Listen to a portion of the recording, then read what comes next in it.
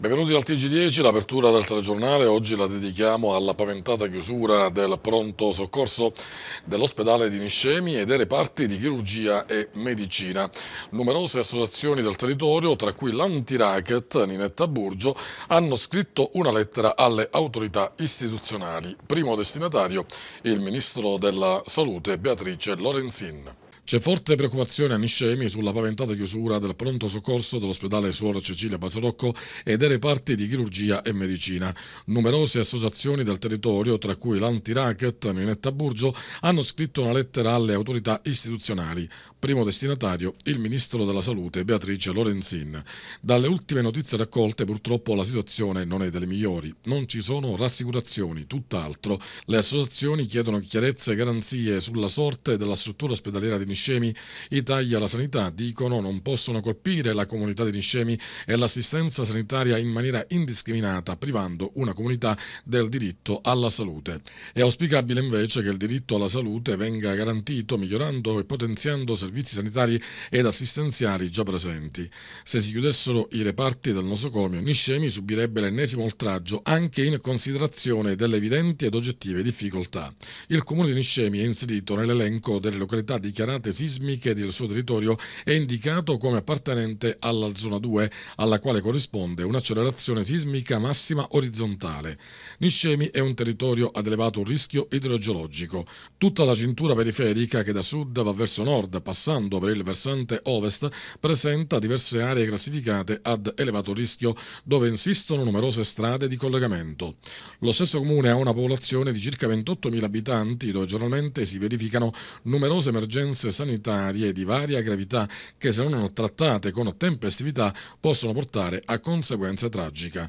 Niscemi inoltre è riconosciuto ed inserito nell'area ad elevato rischio inquinamento ambientale per la vicinanza dello stabilimento di Gela e ad elevato rischio di propagazione di onde elettromagnetiche per l'impianto delle antenne MUOS. La carenza di un presidio territoriale dotato di autonomo pronto soccorso indurrebbe la popolazione a rivolgersi ad altri presidi ospedalieri e quindi a raggiungere quelli Gela, Caltagirone e Vittoria che distano non meno di 20-35 km e che comunque non sono raggiungibili se non dopo 30-40 minuti per le pessime condizioni di viabilità e per la loro ubicazione nel centro edificato.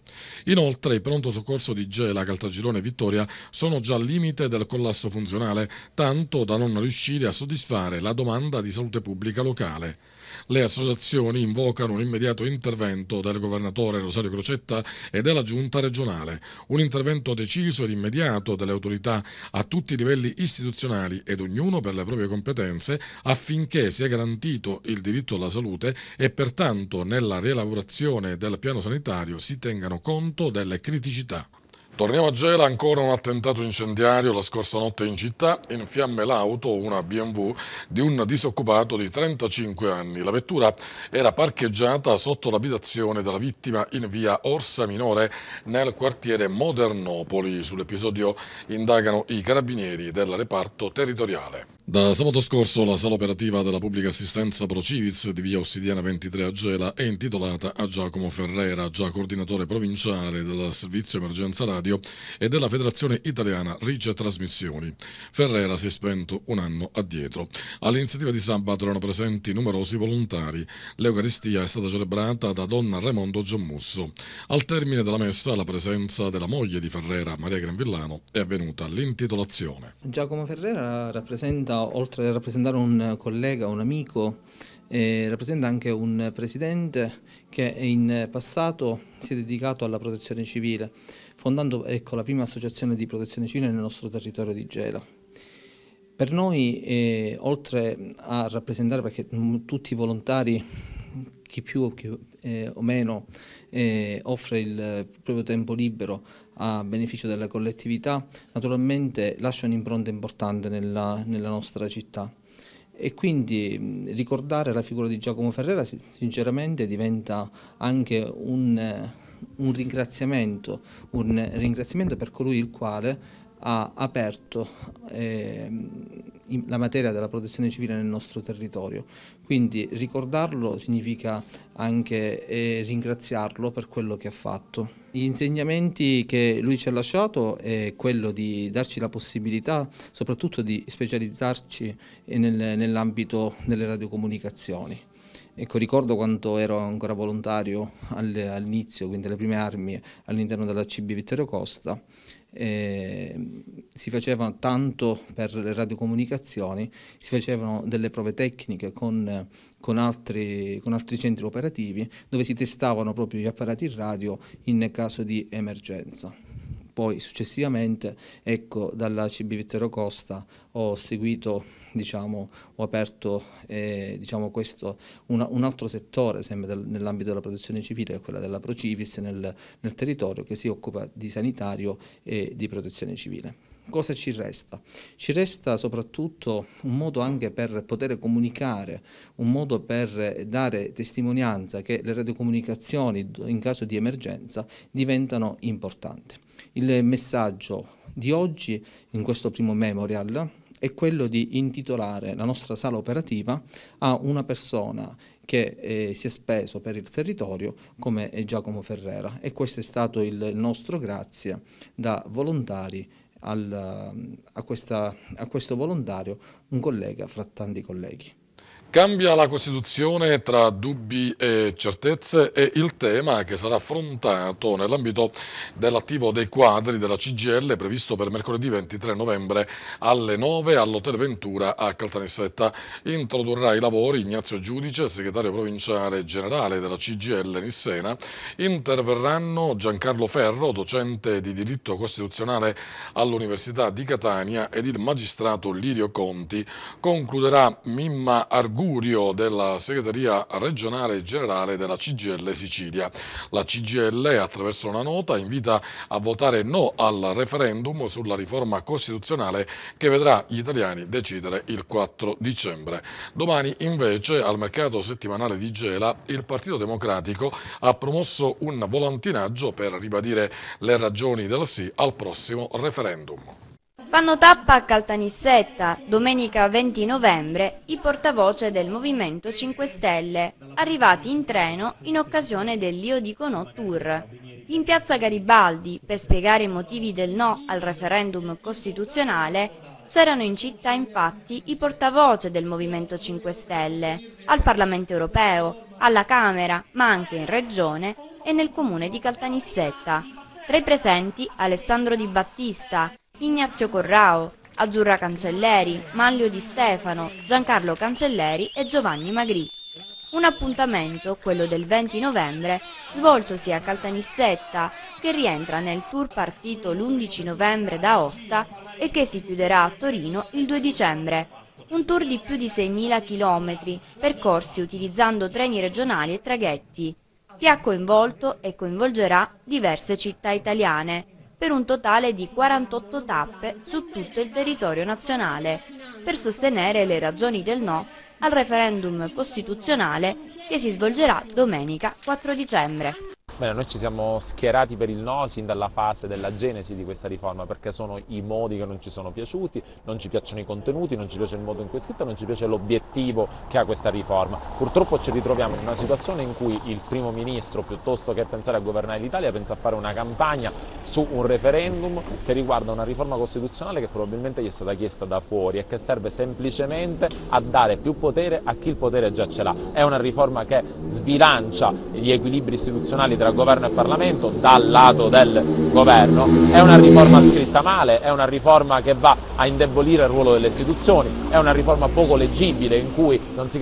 più bene, non si capisce più bene la funzione del Senato, si vanno a sminuire il, la funzione dei, degli enti locali, si vanno, ad avere, si vanno ad avere dei senatori che saranno consiglieri regionali e sindaci al dopolavoro, che saranno nominati dai partiti e che faranno esclusivamente quello che il partito che li nomina gli, or, eh, gli ordina di fare. Allora, noi abbiamo altre priorità, questo Paese ha bisogno di ripartire, questo Paese ha bisogno di eh, riforme concrete che riguardano la vita concreta de, dei cittadini e ha bisogno di dire no a questi giochi di potere che sono fatti da chi si ritrova in un certo momento a governare e cambia la Costituzione per restarci più a lungo.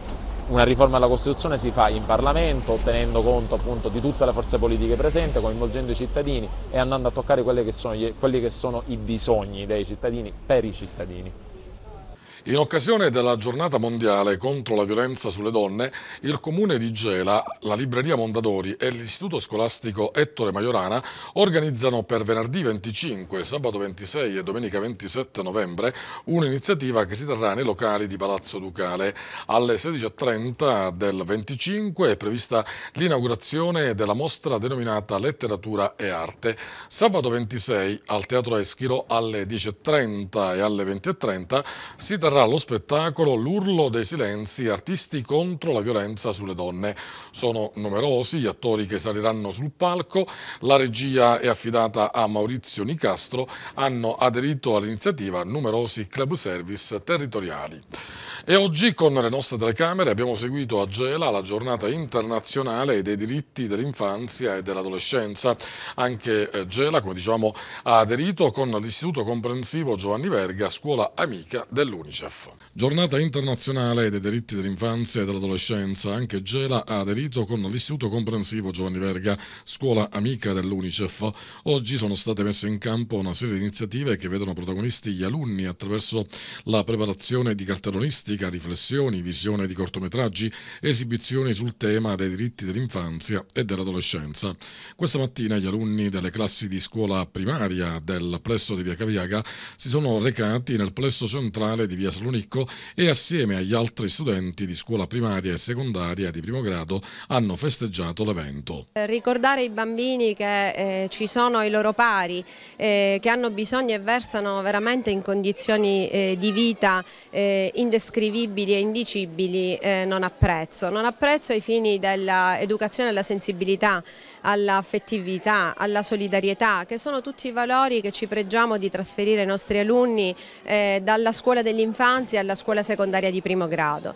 È una giornata eh, più che altro celebrativa eh, che ha eh, diciamo, l'impronta di una festa eh, che riusciamo a realizzare anche grazie eh, all'impegno degli insegnanti, primi fra tutti, ma che si correda dell'operato realmente è una testimonianza di grande grande creatività. Noi siamo qui perché abbiamo veramente una grande gioia di eh, partecipare a questo progetto che ha una finalità importante. Eh, abbiamo scoperto che i nostri bambini tutti hanno compreso il messaggio e l'hanno compreso oggi diversamente da come poteva essere ieri. Oggi hanno riflettuto su quali potevano essere realmente i loro diritti, diritti che loro non riconoscevano perché per loro cose ovvie come la famiglia, la salute, l'istituzione, la scuola e quanto altro erano eh, normalità insomma, di, di, tutti i giorni, mentre oggi hanno compreso che questi si chiamano diritti e che questi diritti non sono alla portata di tutti. Abbiamo studiato i diritti, eh, abbiamo, ci hanno fatto vedere anche molti, molti video di persone che soffrivano, ci hanno fatto capire l'importanza di questa festa, abbiamo fatto anche dei cartelloni. Ho imparato che questi bambini non devono soffrire, cioè perché ehm, non ci dovrebbe essere manco la guerra perché sennò questi bambini soffrono, piangono, muoiono.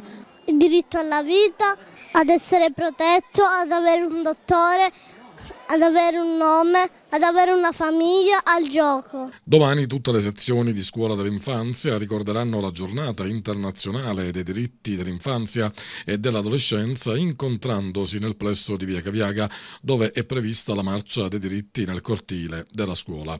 L'iniziativa prevede la presenza di una delegazione dei volontari dell'Unicef che si presteranno a dare il loro contributo.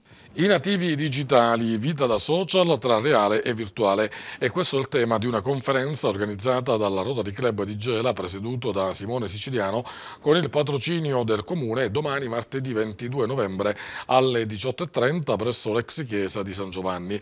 A relazionare sul tema il professor Francesco Pira, sociologo, docente di comunicazione presso il Dipartimento di Civiltà Antiche e Moderne dell'Università di Messina. Porterà i saluti istituzionali comunali del comune l'assessore ai servizi sociali Francesca Licia Abela.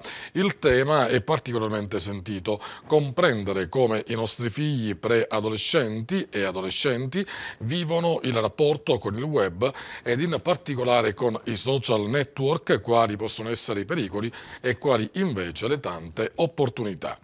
Appuntamento con 10 domande 10, questa sera alle 21, nostro ospite sarà il presidente di Reset 4.0 Maria Ferrera. Le repliche sono previste alla mezzanotte e domenica prossima alle 18. Fai la cosa giusta, differenzia i rifiuti, mantieni il decoro urbano della nostra città.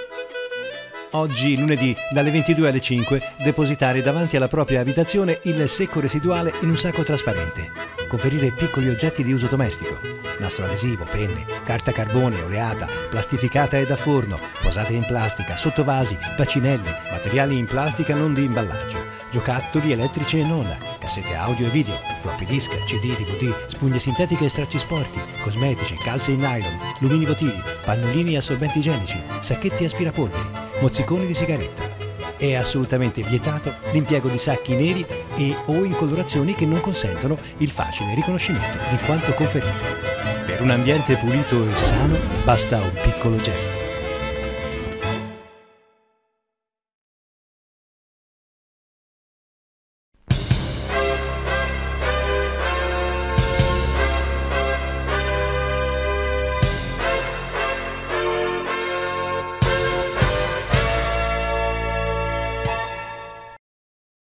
Benvenuti al TG10, l'apertura del telegiornale. Oggi la dedichiamo alla paventata chiusura del pronto soccorso dell'ospedale di Niscemi e dei reparti di chirurgia e medicina. Numerose associazioni del territorio, tra cui l'Antiracket Ninetta Burgio, hanno scritto una lettera alle autorità istituzionali. Primo destinatario il ministro della Salute Beatrice Lorenzin. C'è forte preoccupazione a Niscemi sulla paventata chiusura del pronto soccorso dell'ospedale Suor Cecilia Pasarocco e dei reparti di chirurgia e medicina. Numerose associazioni del territorio, tra cui l'Antiracket Ninetta Burgio, hanno scritto una lettera alle autorità istituzionali. Primo destinatario il ministro della Salute Beatrice Lorenzin. Dalle ultime notizie raccolte purtroppo la situazione non è delle migliori. Non ci sono rassicurazioni, tutt'altro. Le associazioni chiedono chiarezze e garanzie sulla sorte della struttura ospedaliera di Niscemi. I tagli alla sanità, dicono, non possono colpire la comunità di Niscemi e l'assistenza sanitaria in maniera indiscriminata, privando una comunità del diritto alla salute. È auspicabile invece che il diritto alla salute venga garantito migliorando e potenziando servizi sanitari ed assistenziali già presenti. Se si chiudessero i reparti del nosocomio, Niscemi subirebbe l'ennesimo oltraggio anche in considerazione delle evidenti ed oggettive difficoltà. Il comune di Niscemi è inserito nell'elenco delle località dichiarate sismiche del suo territorio è indicato come appartenente alla zona 2, alla quale corrisponde un'accelerazione sismica massima orizzontale. Niscemi è un territorio ad elevato rischio idrogeologico. Tutta la cintura periferica che da sud va verso nord, passando per il versante ovest, presenta diverse aree classificate ad elevato rischio dove insistono numerose strade di collegamento. Lo stesso comune ha una popolazione di circa 28.000 abitanti dove giornalmente si verificano numerose emergenze sanitarie di varia gravità che se non trattate con tempestività possono portare a conseguenze tragiche. Niscemi inoltre è riconosciuto ed inserito nell'area ad elevato rischio inquinamento ambientale per la vicinanza dello stabilimento di Gela e ad elevato rischio di propagazione di onde elettromagnetiche per l'impianto delle antenne MUOS. La carenza di un presidio territoriale dotato di autonomo pronto soccorso indurrebbe la popolazione a rivolgersi ad altri presidi ospedalieri e quindi a raggiungere quelli viciniori Gela, Caltagirone e Vittoria che distano non meno di 20-35 km e che comunque non sono raggiungibili se non dopo 30-40 minuti per le pessime condizioni di viabilità e per la loro ubicazione nel centro edificato. Inoltre il pronto soccorso di Gela, Caltagirone e Vittoria sono già al limite del collasso funzionale, tanto da non riuscire a soddisfare la domanda di salute pubblica locale. Le associazioni invocano un immediato intervento del governatore Rosario Crocetta e della giunta regionale, un intervento deciso ed immediato delle autorità a tutti i livelli istituzionali ed ognuno per le proprie competenze affinché sia garantito il diritto alla salute e pertanto nella rielaborazione del piano sanitario si tengano conto delle criticità. Torniamo a Gela, ancora un attentato incendiario la scorsa notte in città, in fiamme l'auto, una BMW di un disoccupato di 35 anni. La vettura era parcheggiata sotto l'abitazione della vittima in via Orsa Minore nel quartiere Modernopoli. Sull'episodio indagano i carabinieri del reparto territoriale. Da sabato scorso la sala operativa della pubblica assistenza Procivis di via Ossidiana 23 a Gela è intitolata a Giacomo Ferrera, già coordinatore provinciale del servizio emergenza radio e della Federazione Italiana Rice Trasmissioni. Ferrera si è spento un anno addietro. All'iniziativa di sabato erano presenti numerosi volontari. L'Eucaristia è stata celebrata da donna Raimondo Giammusso. Al termine della messa, alla presenza della moglie di Ferrera, Maria Granvillano, è avvenuta l'intitolazione. Giacomo Ferrera rappresenta oltre a rappresentare un collega, un amico, eh, rappresenta anche un presidente che in passato si è dedicato alla protezione civile, fondando ecco, la prima associazione di protezione civile nel nostro territorio di Gela.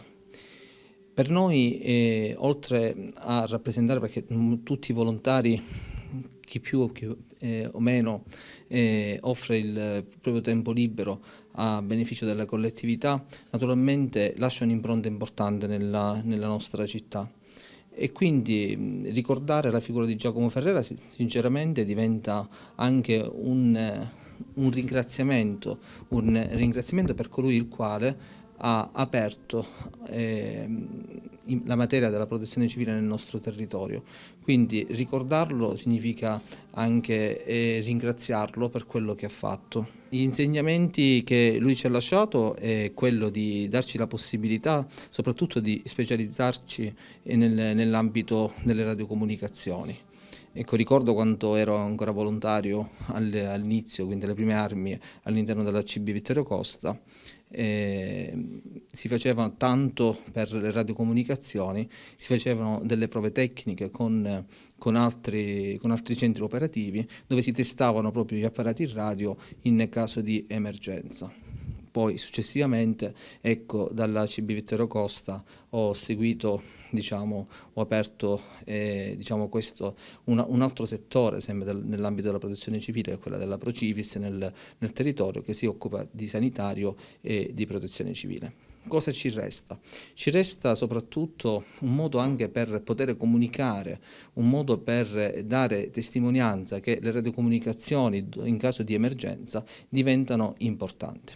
Il messaggio di oggi in questo primo memorial è quello di intitolare la nostra sala operativa a una persona che eh, si è speso per il territorio come Giacomo Ferrera e questo è stato il nostro grazie da volontari al, a, questa, a questo volontario, un collega fra tanti colleghi. Cambia la Costituzione tra dubbi e certezze è il tema che sarà affrontato nell'ambito dell'attivo dei quadri della CGL previsto per mercoledì 23 novembre alle 9 all'Hotel Ventura a Caltanissetta. Introdurrà i lavori Ignazio Giudice, segretario provinciale generale della CGL Nissena. Interverranno Giancarlo Ferro, docente di diritto costituzionale all'Università di Catania ed il magistrato Lirio Conti. Concluderà Mimma Arguello augurio della segreteria regionale generale della CGL Sicilia. La CGL, attraverso una nota, invita a votare no al referendum sulla riforma costituzionale che vedrà gli italiani decidere il 4 dicembre. Domani, invece, al mercato settimanale di Gela, il Partito Democratico ha promosso un volantinaggio per ribadire le ragioni del sì al prossimo referendum. Fanno tappa a Caltanissetta, domenica 20 novembre, i portavoce del Movimento 5 Stelle, arrivati in treno in occasione dell'Io Dico No Tour. In piazza Garibaldi, per spiegare i motivi del no al referendum costituzionale, c'erano in città infatti i portavoce del Movimento 5 Stelle, al Parlamento europeo, alla Camera, ma anche in Regione e nel comune di Caltanissetta. Tra i presenti Alessandro Di Battista, Ignazio Corrao, Azzurra Cancelleri, Manlio Di Stefano, Giancarlo Cancelleri e Giovanni Magri. Un appuntamento, quello del 20 novembre, svoltosi a Caltanissetta, che rientra nel tour partito l'11 novembre da Osta e che si chiuderà a Torino il 2 dicembre. Un tour di più di 6.000 km, percorsi utilizzando treni regionali e traghetti, che ha coinvolto e coinvolgerà diverse città italiane, per un totale di 48 tappe su tutto il territorio nazionale, per sostenere le ragioni del no al referendum costituzionale che si svolgerà domenica 4 dicembre. Bene, noi ci siamo schierati per il no sin dalla fase della genesi di questa riforma perché sono i modi che non ci sono piaciuti, non ci piacciono i contenuti, non ci piace il modo in cui è scritto, non ci piace l'obiettivo che ha questa riforma. Purtroppo ci ritroviamo in una situazione in cui il primo ministro piuttosto che pensare a governare l'Italia pensa a fare una campagna su un referendum che riguarda una riforma costituzionale che probabilmente gli è stata chiesta da fuori e che serve semplicemente a dare più potere a chi il potere già ce l'ha. È una riforma che sbilancia gli equilibri istituzionali tra governo e Parlamento dal lato del governo, è una riforma scritta male, è una riforma che va a indebolire il ruolo delle istituzioni, è una riforma poco leggibile in cui non si, più bene, non si capisce più bene la funzione del Senato, si vanno a sminuire il, il, la funzione dei, degli enti locali, si vanno, ad avere, si vanno ad avere dei senatori che saranno consiglieri regionali e sindaci al dopolavoro, che saranno nominati dai partiti e che faranno esclusivamente quello che il partito che li nomina gli, eh, gli ordina di fare. Allora, noi abbiamo altre priorità, questo Paese ha bisogno di ripartire, questo Paese ha bisogno di eh, riforme concrete che riguardano la vita concreta de, dei cittadini e ha bisogno di dire no a questi giochi di potere che sono fatti da chi si ritrova in un certo momento a governare e cambia la Costituzione per restarci più a lungo una riforma della Costituzione si fa in Parlamento, tenendo conto appunto di tutte le forze politiche presenti, coinvolgendo i cittadini e andando a toccare che gli, quelli che sono i bisogni dei cittadini per i cittadini. In occasione della giornata mondiale contro la violenza sulle donne, il comune di Gela, la libreria Mondadori e l'istituto scolastico Ettore Majorana organizzano per venerdì 25, sabato 26 e domenica 27 novembre un'iniziativa che si terrà nei locali di Palazzo Ducale. Alle 16.30 del 25 è prevista l'inaugurazione della mostra denominata Letteratura e Arte. Sabato 26 al Teatro Eschilo alle 10.30 e alle 20.30 si terrà terrà lo spettacolo L'urlo dei silenzi, artisti contro la violenza sulle donne. Sono numerosi gli attori che saliranno sul palco, la regia è affidata a Maurizio Nicastro, hanno aderito all'iniziativa numerosi club service territoriali. E oggi con le nostre telecamere abbiamo seguito a Gela la giornata internazionale dei diritti dell'infanzia e dell'adolescenza. Anche eh, Gela, come diciamo, ha aderito con l'Istituto Comprensivo Giovanni Verga, scuola amica dell'Unicef. Giornata internazionale dei diritti dell'infanzia e dell'adolescenza. Anche Gela ha aderito con l'Istituto Comprensivo Giovanni Verga, scuola amica dell'Unicef. Oggi sono state messe in campo una serie di iniziative che vedono protagonisti gli alunni attraverso la preparazione di cartellonisti artistica, riflessioni, visione di cortometraggi, esibizioni sul tema dei diritti dell'infanzia e dell'adolescenza. Questa mattina gli alunni delle classi di scuola primaria del plesso di Via Caviaga si sono recati nel plesso centrale di Via Salonicco e assieme agli altri studenti di scuola primaria e secondaria di primo grado hanno festeggiato l'evento. Ricordare ai bambini che eh, ci sono i loro pari, eh, che hanno bisogno e versano veramente in condizioni eh, di vita eh, indescrivibili indescrivibili e indicibili eh, non apprezzo. Non apprezzo ai fini dell'educazione alla sensibilità, all'affettività, alla solidarietà, che sono tutti i valori che ci pregiamo di trasferire ai nostri alunni eh, dalla scuola dell'infanzia alla scuola secondaria di primo grado. È una giornata eh, più che altro celebrativa eh, che ha eh, diciamo, l'impronta di una festa, eh, che riusciamo a realizzare anche grazie, eh, all'impegno degli insegnanti, primi fra tutti, ma che si correda dell'operato realmente eh, e del, è una testimonianza di grande creatività. Noi siamo qui perché abbiamo veramente una grande gioia di eh, partecipare a questo progetto che ha una finalità importante. Eh, abbiamo scoperto che i nostri bambini tutti hanno compreso il messaggio e l'hanno compreso oggi diversamente da come poteva essere ieri oggi hanno riflettuto su quali potevano essere realmente i loro diritti, diritti che loro non riconoscevano perché per loro cose ovvie come la famiglia, la salute, l'istituzione, la scuola e quanto altro erano, eh, e normalità insomma, di, di, tutti i giorni, mentre oggi hanno compreso che questi si chiamano diritti e che questi diritti non sono alla portata di tutti. Abbiamo studiato i diritti, eh, abbiamo, ci hanno fatto vedere anche molti, molti video di persone che soffrivano, ci hanno fatto capire l'importanza di questa festa, abbiamo fatto anche dei cartelloni. Ho imparato che questi bambini non devono soffrire, cioè perché ehm, non ci dovrebbe essere manco la guerra perché sennò questi bambini soffrono, piangono, muoiono. Il diritto alla vita, ad essere protetto, ad avere un dottore, ad avere un nome, ad avere una famiglia, al gioco. Domani tutte le sezioni di scuola dell'infanzia ricorderanno la giornata internazionale dei diritti dell'infanzia e dell'adolescenza incontrandosi nel plesso di Via Caviaga dove è prevista la marcia dei diritti nel cortile della scuola. L'iniziativa prevede la presenza di una delegazione dei volontari dell'Unicef che si presteranno a dare il loro contributo. I nativi digitali, vita da social tra reale e virtuale e questo è il tema di una conferenza organizzata dalla Rotary Club di Gela presieduto da Simone Siciliano con il patrocinio del comune domani martedì 22 novembre alle 18.30 presso l'ex chiesa di San Giovanni. A relazionare sul tema il professor Francesco Pira, sociologo, docente di comunicazione presso il Dipartimento di Civiltà Antiche e Moderne dell'Università di Messina. Porterà i saluti istituzionali comunali del comune, l'assessore ai servizi sociali Francesca Licia Abela. Il tema è particolarmente sentito, comprendere come i nostri figli preadolescenti e adolescenti vivono il rapporto con il web ed in particolare con i social network, quali possono essere i pericoli e quali invece le tante opportunità. Appuntamento con 10 domande 10, questa sera alle 21, nostro ospite sarà il presidente di Reset 4.0 Maria Ferrera. Le repliche sono previste alla mezzanotte e domenica prossima alle 18. Fai la cosa giusta, differenzia i rifiuti, mantieni il decoro urbano della nostra città. Oggi, lunedì, dalle 22 alle 5, depositare davanti alla propria abitazione il secco residuale in un sacco trasparente. Conferire piccoli oggetti di uso domestico.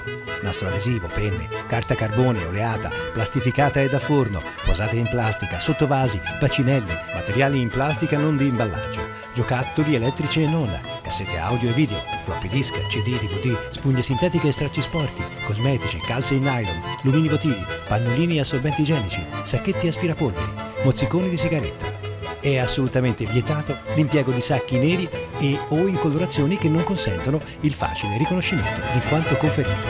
Per un ambiente pulito e sano basta un piccolo gesto.